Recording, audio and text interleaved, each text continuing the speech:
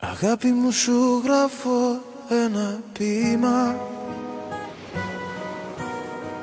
Θα ήθελα να ζήσω σε ένα κύμα.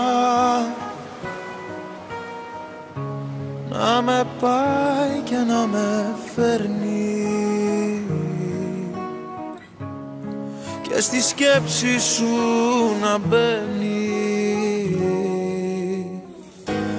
Να γλιστράω στα μαλλιά σου Στο λαιμό σου να κρύφτω Να μεθώ με τα αρώμα σου Να χορεύω στο κενό.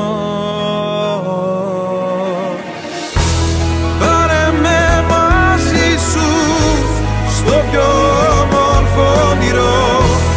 Πάνω στο κόρμι σου Στου φίλου σου το βυθό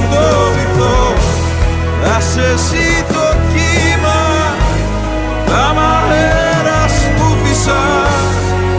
Σου υπόσχομαι ταξίδι ασημένια και χρυσά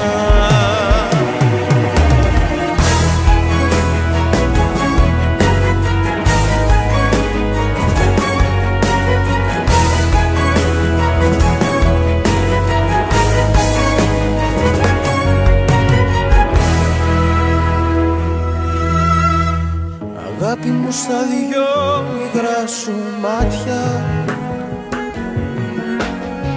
Ανοίγονται θλιμμένα μονοπάτια Μες στη θλίψη θα βαδίσω. Τις πληγές σου για να κλείσω φτάσω στην άκρη και το μαύρο έχει χαθεί.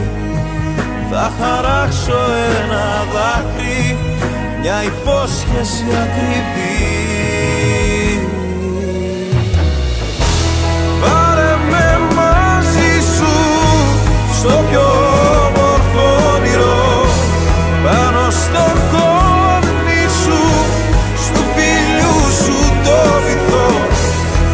εσύ το κύμα θα μ' αέρας που φυσάς σου υπόσχομαι ταξίδια ασημένια και